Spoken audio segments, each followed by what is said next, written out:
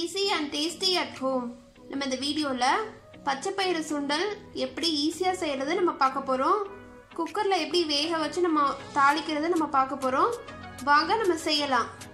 Kilo பச்சைப்பயிறு பயிறு. கா கிலோனா இந்த மாகாணியில் ரெண்டு ரெண்டரை மாகாணிக்கு கொஞ்சம் கம்மியாக இருக்கும். ரெண்டே கால் மாகாணி இருக்கும். கா கிலோ பச்சைப்பயிறு நீங்கள் கடையில் வாங்கினீங்கன்னா கரெக்டாக இருக்கும். இப்போ வந்து நம்ம பச்சை பயிரை வேக போடுவோம். மாகாணிக்கு வந்து ரெண்டு மாகாணி தண்ணி ஆட் பண்ணியிருக்கேன் கரெக்டாக ரெண்டு மாகாணி. உங்கள் தேவைக்கேற்ற அளவு உப்பு ஆட் பண்ணிக்கோங்க. நான் ஒரு டீஸ்பூன் அளவு ஆட் பண்ணியிருக்கேன் இப்போ வந்து ஒரு விசில் வந்து குறைச்சி வச்சு டென் மினிட்ஸில் ஆஃப் பண்ணுங்க. ஒரு பேனை அடுப்பில் வச்சுக்கோங்க. அதில் வந்து டூ டேபிள் ஸ்பூன்ஸ் ஆயில் சேர்த்துக்கோங்க. எண்ணெய் சுட்டதும் கடுகு ஆட் பண்ணிக்கோங்க. இப்போ கடுகு வெடிச்சிருச்சு. இதில் வத்தல் ஆட் பண்ணிக்கோங்க. மீடியம் சைஸ் பெரிய வெங்காயம் ஒன்று ஆட் வெட்டி வச்சுருக்கேன். அதை ஆட் பண்ணிக்குவோம்.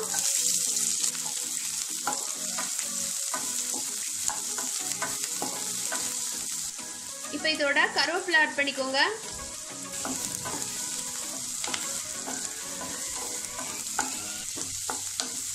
இப்போ வெங்காயம் வதங்கிருச்சு. இதோட சேர்த்து ஒரு டீஸ்பூன் வந்து கறி மசாலா ஆட் பண்ணிக்கோங்க.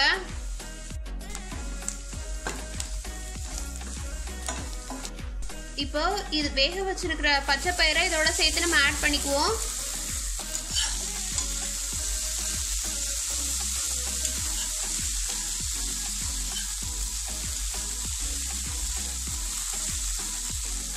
இப்போ ஃபைனலாக நம்ம கொஞ்சம் தேங்காய் துருவல் ஆட் பண்ணிக்குவோம்.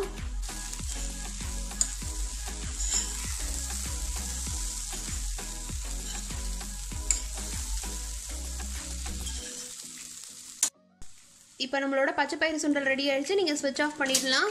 நீங்களும் உங்கள் வீட்டில் கண்டிப்பாக இந்த மாதிரி ட்ரை பண்ணி பாருங்கள் நான் வந்து உப்பு பச்சை பயிறு வேக போடும் போதே ஆட் பண்ணிட்டேன். அதனால் திரும்பியும் நம்ம இப்போ தாளிக்கும் போது ஆட் பண்ண தேவையில்லை. நம்ம இன்னொரு வீடியோவில் இன்னொரு டிஷ்ஷோட மறுபடியும் சந்திப்போம். பாய்